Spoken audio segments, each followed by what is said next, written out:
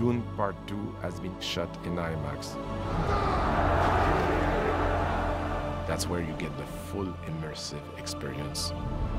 We know the power of IMAX, and we know the power of when you sit in a cinema on a scale of that size. We're able to capture the biggest image possible by shooting pretty much the entire film in IMAX. Everybody's coming together into this really epic landscape that it's cinematically beautiful and brutal.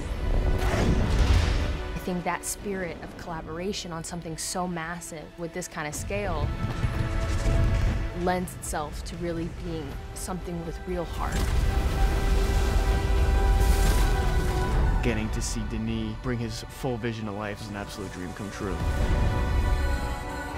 It creates very strong intimacy, but also tremendous scope.